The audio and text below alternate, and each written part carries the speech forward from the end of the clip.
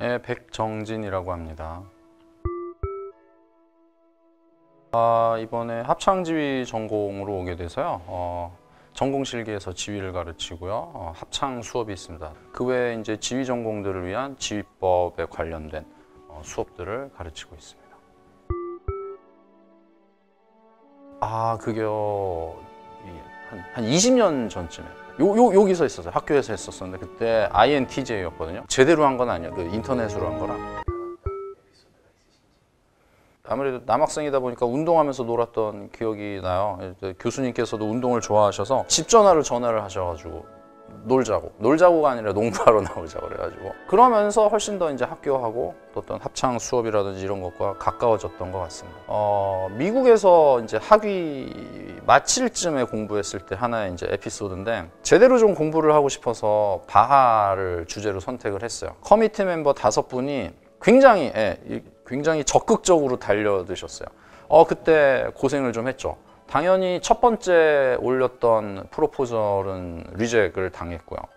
두 번째 열심히 해가지고 올렸는데 committee 멤버 중에 한 분이 저의 연주 시간을 잘못 계산을 해서 reject을 놓으셨어요. 이게 무슨 일을 그때 이제 다시 기도하면서 무릎을 꿇었습니다. 그래도 그 기회를 통해서 또 제대로 배우고 또 하나님께 무릎을 꿇을 수 있었던 시간도 있었어서 너무나 지금 감사하게 생각하고 있습니다.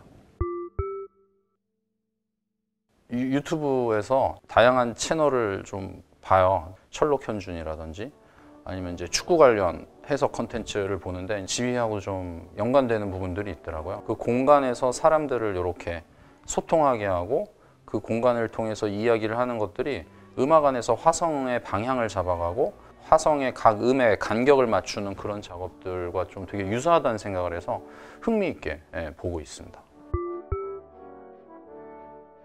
어렸을 때 꾸며 교회에서 찬양대 생활을 어려서부터 했었기 때문에 교회 안에서 노래하는 걸 좋아하다 보니까 자연스럽게 이쪽 전공으로 오게 됐는데 그냥 좋아했던 것 같아요. 교회 안에서 찬양하고 그게 이제 역할이 바뀌어서 이제 지휘를 하고 있는데 지금 생각했을 때 되게 순수했던 것 같고 그것을 하나님께서 기쁘게 보신 것이 아닐까라고 지금은 예, 생각을 하고 있습니다.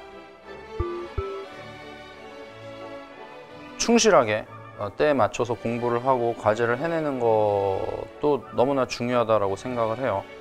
하지만 학교를 다니면서 만나게 되는 고민이라든지 어떤 어, 아까 말씀드렸던 어떤 방황의 시간 같은 것들이 있을 거예요. 어떤 그런 시간을 만났을 때 충분히 고민을 하시고 언제든지 이렇게 오신다면 야, 기분 좋게 잘 가르쳐 드리겠습니다.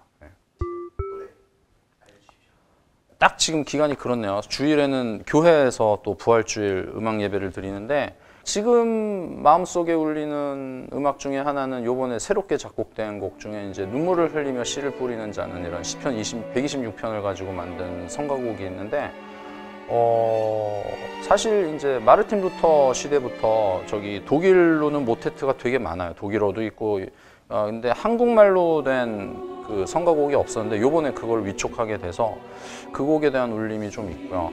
감사하게 찐하게 예, 지내고 있는 것 같습니다. 수준 잘 나와야 되는데. 예.